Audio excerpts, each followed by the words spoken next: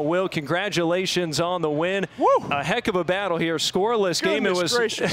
it was Gotta tough. love college baseball. huh? Yeah, right. Wow. It, it was tough to get anything done here for a while. What Yeah. allowed you guys to finally break through in the 10th? you know, we just competing. That's that's uh, his group. We just love to compete out here, and we just found at the right time. It was awesome to watch.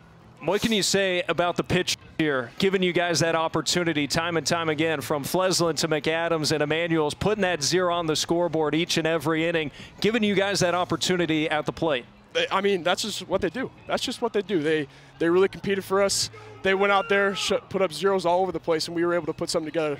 At the end, there was fucking awesome. Shoot, freaking sorry, sorry. It's all right, man. Excuse my language. You're, sorry. you're, you're fired up. Fired and for, for you guys, though, you guys hadn't had that clutch hit. 0 for 8 with runners in scoring position. And you guys had started, I think, 0 for 7 in this one. And, and then finally breaking through. I, I'm sure you guys thought it was just a matter of time, given the way you guys have provided offense this year. Oh, absolutely. I mean, we were putting putting great at bats together all night, hitting balls hard all over the place. It was a matter of time before before they started falling, getting guys across the plate. How much of this was a big kind of prove it weekend for you guys? This is your first time taking on a ranked opponent, going on the road to UCLA in first place. I imagine there's a bit of extra juice for you guys coming into this weekend. Oh yeah, I mean, we, we think we can compete with anyone in the country, and we just want to come out here and, and play our game, not worry about anything else, just worry about the guys in the in that dugout, and just come out here and compete and try and get some try and win some ball games. Well, compete you guys did.